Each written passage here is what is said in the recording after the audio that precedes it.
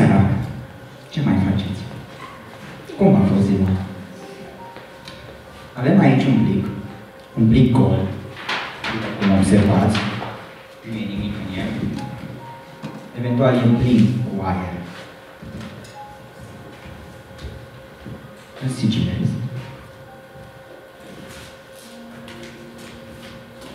Și acum, aș vrea să rog o persoană din public să vină să semneze plicul, astfel încât să fie unic în lume. Cine ar trebui?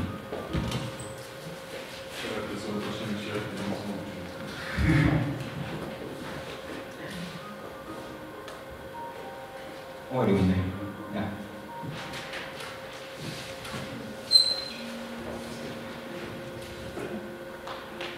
Mulțumesc mult. Lasă aici plicul. E bine aici? Să ne imaginăm faptul că plicul acela reprezintă, simbolizează inima unei persoane. Haideți să facem un mic exercițiu. Fiecare persoană să se gândească la un eveniment plăcut din viața ei, la o amintire frumoasă, să se gândească și să încearcă să zâmbească, natural, încet. Și după, aș vrea să văd un zâmbet cât mai larg. Vedeți cu toții, vă rog. Cum vă simțiți? Recent m-am uitat la un video în care vorbea un călugăr despre un cuvânt foarte important în secolul 21. Care credeți că e acel cuvânt? Vă dau un spoiler, are șase litere. Zâmbet. Zâmbetul ne face să ne simțim mai bine. Ne luminează fețele. Știți că de mult îmi place să o privesc pe prietena mea zâmbind. Știți cât de mult îmi place, de fapt ador, să o fac să râdă. Pentru că atunci știu că involuntar, de fiecare dată când văd zâmbetul ei minunat pe fața ei, mă cucerește la propriu și involuntar face asta. Trec printr-o perioadă în care învăț să fiu mai bun, să zâmbesc mai mult. Și recunosc, cum a zis și Ovidiu sau cum era scris în prezentare, sunt câteodată foarte leneș, chiar foarte leneș, orgolios, ceea ce îmi displace la maxim, nerăbdător, agitat, stresat, enervat. Și câteodată mă enervez, pentru că mă enervez. Să ridice mâinile persoanele care au pățit chestia aceasta. Una, două, trei, patru, ok, ce e? Vezi de rușine? Ok, am înțeles, accept asta. Glumesc. Nu am venit aici să vorbesc din perspectiva omului care le știe pe toate, adică ce înseamnă bunele maniere. Și eu sunt în procesul de a învăța chestia asta.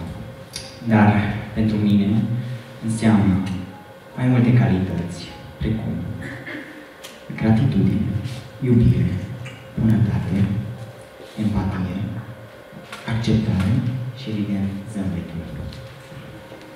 Din punctul meu de vedere, dacă încerci, încerci, încerci și încerci să devii cât mai bun, o să ai 100% bunele maniere. Și nu pentru că trebuie, ci pentru că vrei.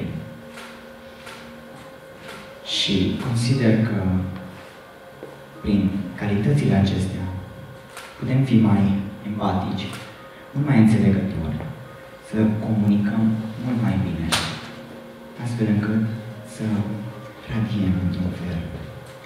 Mă întrebam recent care e cea mai înaltă formă de fericire. Banii, uh, are nou, alt exemplu. Nu, a oferi. Și simt că atunci când ofer ceva sau încerc să ofer ceva, mă simt mult mai bine. Înainte să vin pe scenă aveam emoții, îmi bătea inima așa. Acum nu mai simt nimic, simt bine. Și... Cum? Exact. Mulțumesc. Și aș vrea să vă povestesc o întâmplare ciudată. Mergeam acasă bine și am ajuns în cadă. Era o coadă mare și m-am gândit că o să am bilet. M-am mers la un tip în, co- la, în coadă și l-am rugat să-mi ia și mie. Și mi-a zis, da, îți iau. Voilà, pune-ne maniere ale ale secolului 21. Îi povestesc prietenei mele entuziasmat ce s-a întâmplat la care ea.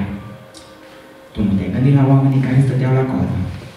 Era entuziasmat, am trecut la fața aceea. Trebuia să zici tu asta? În încheiere aș vrea să vă spun că cele șase calități pe care le-am enumerat, zâmbet, empatie, acceptare, iubire, etc., sunt calitățile necesare pentru a fi oameni mai buni și dacă încercăm să le facem, 100% facem magie. Iar acum, te invit, te rog, iarăși pe scenă, să mă ajuți. Nici cum am zis la început, plicul acesta simbolizează inima unei persoane. Dacă te rog, Dacă scoți inima mamei mele, atunci chiar mă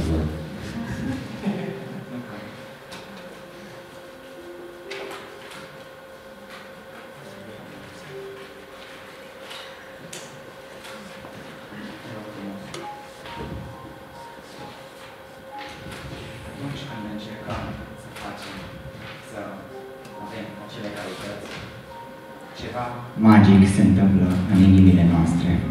Aș vrea să vă las cu un citat. Magia înseamnă a crede în tine. Dacă poți face asta, poți face să se întâmple orice. Vă mulțumesc. Și cum suntem la bunele maniere, aș mai vrea să zic câteva cuvinte. Te iubi, micuță. Mulțumesc.